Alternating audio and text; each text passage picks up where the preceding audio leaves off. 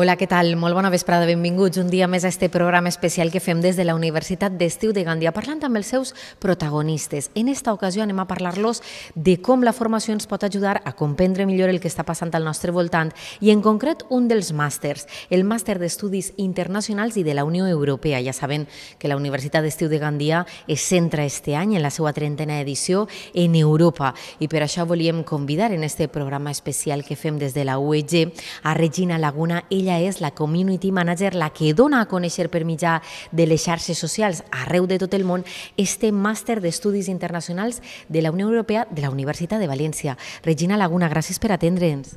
Hola, bon dia. Conta'ns, en què consisteix este màster?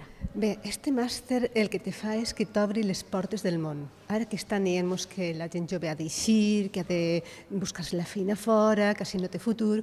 Bé, això és el futur de la nostra joventut, però no sols per anar-se'n, sinó també per a tornar per a tornar amb un bagatge darrere, que és el que li va fer que este país siga endavant. Uh -huh. Bé, eh, este, este màster eh, és oficial, és de postgrau, té donat la porta oberta també per a continuar amb el doctorat, uh -huh i, a més, eh, té dos itineraris. Un, que és la eh, globalització, justícia internacional, que te va fer creuar fronteres més enllà del inimaginable, per exemple, què està passant al Congo, per exemple, eh, temes de col·laboració. Això te va donar la porta per a treballar a les Nacions Unides, te va obrir la porta per a treballar al Banc Mundial, però també te pot donar les claus del que està passant a Europa, el per què està crisi, que és la prima de riesgo, perquè quan parla Draghi, el president del Banc Central Europeu, baixa la prima de riesgo, qui és la troika, eh, per què l'agència de qualificació de rating Fitch ha baixat el mecanisme d'estabilitat, què és tot això? De què estem parlant? Tot això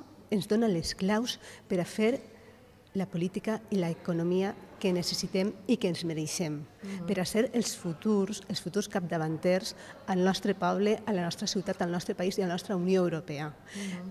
És més, a més de les eines polítiques, jurídiques i de coneixements que ens dona aquest màster, eh, nosaltres, des de dins, des de la universitat, des del màster d'estudis internacionals i de la Unió Europea, estem eh, dinamitzant els estudis per a tots els estudiants, no sols de València, no sols d'Espanya, arreu del món, a les xarxes socials.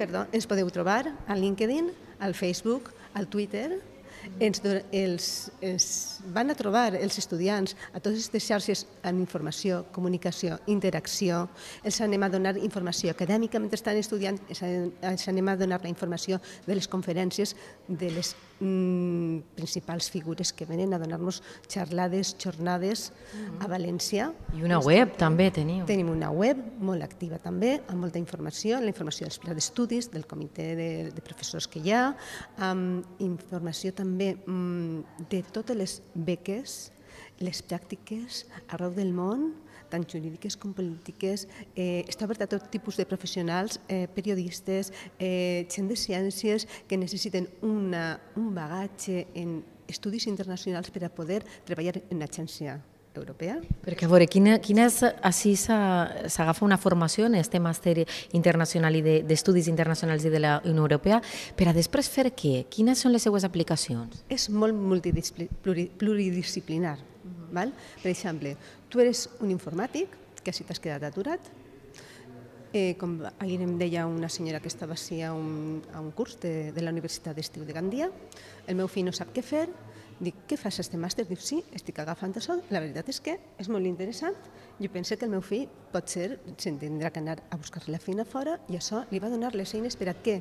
Per exemple, en l'Agència Europea de Comunicació i de Noves Tecnologies ell pugui tindre una, un, una porta d'entrada, perquè li va donar la informació política, jurídica, etc etc, per a que aquesta persona siga útil en l'Agència de Comunicació de la Unió Europea.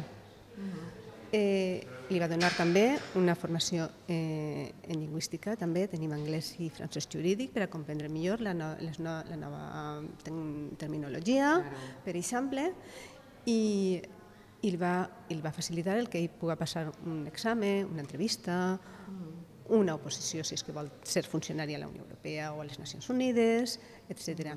Eh, per exemple, un enginyer, un enginyer o que vull treballar en, en la, en la, en l'agència... Clar, és que no sols per a juristes o, juristes o gent que vulgui treballar en, en la Unió Europea, en Brussel·les, en la comissió...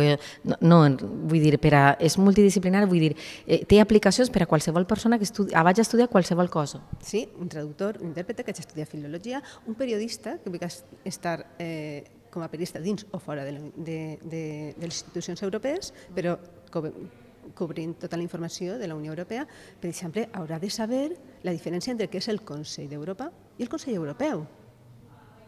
Tan fàcil com això.